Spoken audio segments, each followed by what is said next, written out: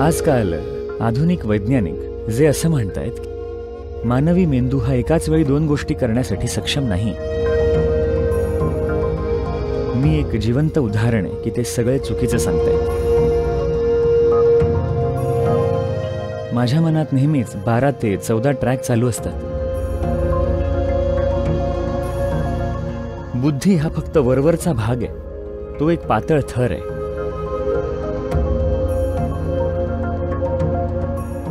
बुद्धिमत्तेच्या प्रचंड आकारमानाच्या तुलनेने ज्यामुळे आपलं अस्तित्व आहे.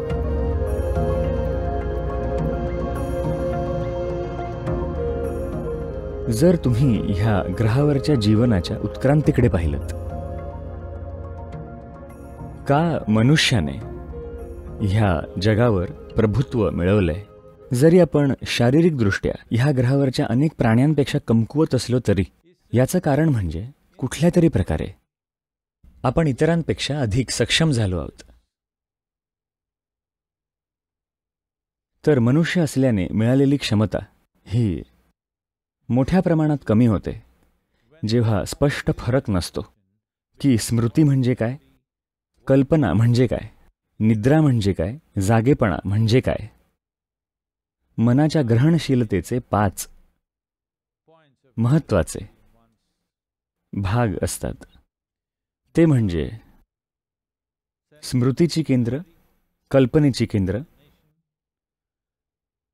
योग्य जाणीवेची केंद्र विकृत जाणीवेची केंद्र आणि निद्रेचे केंद्र.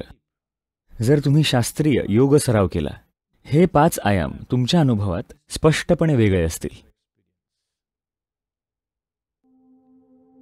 जर ते वेगळे नसतील तुमच्यामध्ये असं घडतं की जेव्हा तुम्हाला काही आठवायचं असतं तुमची कल्पनाशक्ती तुमच्या स्मरणशक्तीत अडथळे आणते.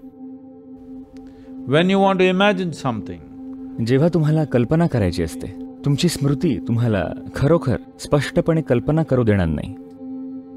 जेव्हा तुम्हाला झोपायचं असतं तेव्हा तुम्हाला स्वप्न पडतील. जेव्हा तुम्हाला उठायचं असतं तुम्ही झोपी जाल. ह्यामुळे भरपूर गोंधळ माजतो आणि जीवन अकार्यक्षम बनतं. मी तुमच्या व्यवसायातल्या कार्यक्षमतेबद्दल बोलत नाही आहे किंवा ऑफिसमधल्या किंवा इतर कुठल्याही त्याच्यातसुद्धा हो त्या सुद्धा ते घडतं. पण मुख्य म्हणजे जीवन अकार्यक्षम बनतं. जेव्हा मी जीवनाची अकार्यक्षमता म्हणतो हे जीवन त्याच्या स्वाभाविक उल्हासाने आणि आनंदाने कार्य करू शकणार नाही आणि पूर्ण शोध घेऊ शकणार नाही. त्याच्या आतल्या विविध आयामांचा शोध घेऊ शकणार नाही. ही शक्यता मोठ्या प्रमाणात कमी होते. फक्त ह्यामुळे की ह्या मिश्रणाचा गोंधळ घडलाय लोकांच्या जीवनाच्या अनुभवामध्ये. शास्त्रीय योग सराव ह्या गोष्टी वेगवेगळ्या करण्यावर खूप केंद्रित आहे. जर तुम्ही ह्या गोष्टी वेगळ्या केल्या तुम्ही असं बनू शकता ज्याला आपण म्हणतो अवधानी.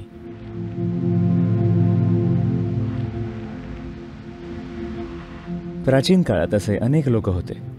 आजकाल खूप कमी आहेत. त्यांच्यातल्या काहींना अष्टावधानी म्हणतात. याचा अर्थ त्यांच्याकडे आठ प्रकारच्या आठ क्षमता असतात. म्हणजे एकाच वेळी एकाच क्षणी ते आठ प्रकारच्या गोष्टी करू शकतात. जसं की ते कविता करू शकतात. त्याच वेळी ते अतिशय क्लिष्ट गणित करू शकतात. त्याच वेळी ते अत्तराचा वास घेऊन तो ओळखू शकतात. त्याच वेळी ते वेगवेगळ्या गोष्टींची चव घेऊन त्यांच्याबद्दल माहिती देऊ शकतात. त्याच वेळी ते अनेक गोष्टी करू शकतात जसं की सगळ्या पाच ज्ञानेंद्रियांच्या संबंधित बघणे ऐकणे वास घेणे चव घेणे आणि स्पर्श करणे. एकाच वेळी ते खूप काही गोष्टी करू शकतात आठ प्रकारच्या गोष्टी. जर तुम्ही करू शकलात तर तुम्हाला अष्टावधानी म्हणतील. जर तुम्ही दहा प्रकारच्या गोष्टी करू शकलात तर तुम्हाला दशावधानी म्हणतील. जर तुम्ही शंभर प्रकारच्या गोष्टी करू शकलात तर तुम्हाला शतावधानी म्हणतील. जर तुम्ही हजार प्रकारच्या गोष्टी करू शकलात तर तुम्हाला सहस्त्रावधानी म्हणतील. सहस्त्रावधानी अत्यंत दुर्मिळ आहेत. लोक म्हणतात की अगस्त्य मुनी सहस्त्रावधानी होते. म्हणजे ते एक हजार आठ गोष्टी एकाच वेळी करू शकत असत.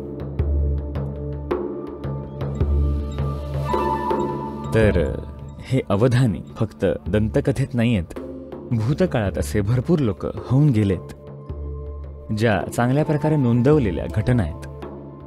विद्यापथी आंध्र प्रदेशमधले दशावधानी होते. त्यांच्यामुळे दशावधानींची एक संस्कृती निर्माण झाली आंध्र प्रदेशमध्ये आजही आंध्र प्रदेशातल्या खेड्यात तिथे अष्टावधानी आणि दशावधानी भरपूर संख्येने आढळतात. सिद्धचंद्र एक शतावधानी होते. त्यांनी एकाच वेळी शंभर प्रकारच्या गोष्टी केल्या अकबराच्या दरबारात सगळ्यांसमोर सम्राट अकबराच्या दरबारात. आणि ह्यासाठी त्यांचा सन्मान केला गेला. आणि शतावधानी ही पदवी देण्यात आली कारण त्यांनी शंभर प्रकारच्या गोष्टी एकाच वेळी केल्या. आणि आधुनिक काळात असे लोक होऊन गेलेत ज्यांनी शंभर प्रकारच्या गोष्टी एकाच वेळी केल्यात.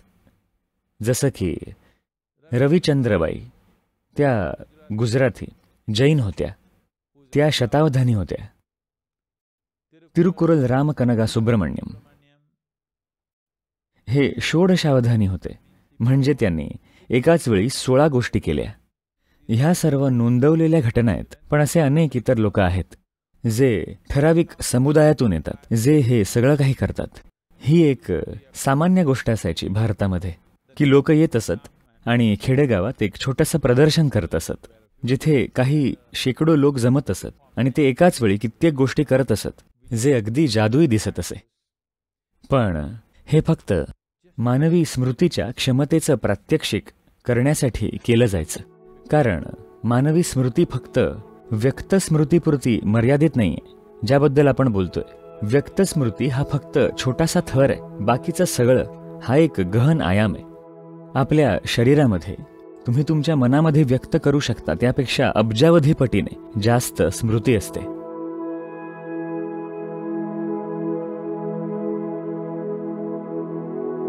आजकाल खूप काही. आधुनिक वैज्ञानिक दुर्दैवाने जे असं म्हणतायत की मानवी मेंदू हा एकाच वेळी दोन गोष्टी करण्यासाठी सक्षम नाही. जर तुम्ही एकच गोष्ट केलीत तर तुम्ही ती उत्तम प्रकारे करू शकता. मी एक जिवंत उदाहरण आहे की ते सगळे चुकीचं सांगतायत. माझ्या मनात नेहमीच बारा ते चौदा ट्रॅक चालू असतात. मी विचलित अस्वस्थ किंवा तणावग्रस्त दिसतो का? Because of that. नाही. तुम्ही कित्येक गोष्टी करू शकता ह्या प्रकारे. असंही नाही की तुम्हाला त्यावर जागरूकपणे लक्ष द्यावं लागतं. तुम्ही एक ठराविक ट्रॅक सुरू करून सोडून दिला तर तो स्वतःहून चालू राहतो. हे मानवाच्या बुद्धिमत्तेचं स्वरूप आहे. तुम्ही इथे बसून तुमच्या मूत्रपिंडाची कार्य करत नाही आहात किंवा यकृतचं कार्य किंवा स्प्लीन काम करतंय की नाही तुम्ही हे करत नाही आहात आणि ह्या सर्व गोष्टी एकाच वेळी होत आहेत की नाही आपल्यामध्ये अशी बुद्धिमत्ता नाहीये का जे हे सर्व काही करण्यासाठी सक्षम आहे? तर फक्त एवढंच आहे बहुतेक लोक समजतात. मानवी बुद्धिमत्ता ही फक्त बुद्धी आहे. बुद्धी हा फक्त वरवरचा भाग आहे. तो एक पातळ थर आहे. बुद्धिमत्तेच्या प्रचंड आकारमानाच्या तुलनेने ज्यामुळे आपलं अस्तित्व आहे कारण आपली निर्मिती आतून झाली आहे. हे शरीर निर्माण करण्यासाठी लागणारी सगळी बुद्धिमत्ता हे जीवन निर्माण करण्यासाठीची बुद्धिमत्ता ही आपल्या आत आहे. ही अशी गोष्ट नाही आहे जे बाहेरून घडतं. हे आपल्या आत आहे.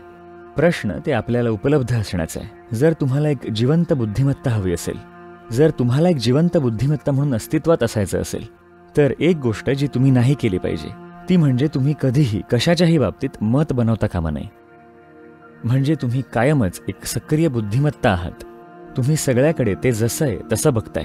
मत म्हणजे तुम्ही तुमची अनुभवण्याची क्षमता घालवली तुम्ही पूर्वग्रही बनलात. किंवा भूतकाळाची छाप सध्या जे आहे त्या वास्तवावर मात करते. मत म्हणजे हेच असतं. पण दुर्दैवाने आपण असा समाज तयार केलाय जिथे जर तुम्ही मतं बनवली नसतील तर तुम्ही मंद किंवा मूर्ख समजले जाता कारण तुमच्याकडे काहीच मत नाहीये. पण ही तुम्ही करू शकणारी सर्वात हुशार गोष्ट आहे. तुम्ही करू शकणारी सर्वात बुद्धिमान गोष्ट आहे. ती म्हणजे तुम्ही कुठल्याच बाबतीत मतं बनवली नाहीयेत. तुम्ही सगळीकडे ते जसं आहे तसं बघण्यासाठी इच्छुक आहात.